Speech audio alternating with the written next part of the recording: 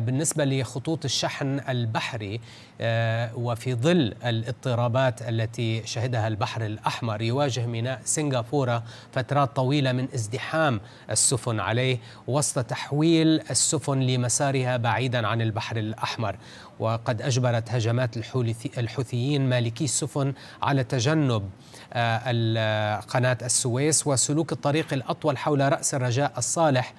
في مما يشير إلى أن السفن باتت لا تفرغ البضائع في موانئ منطقة الشرق الأوسط ما يفاقم الاختناقات البحرية بالمياه قبالة سواحل سنغافورة.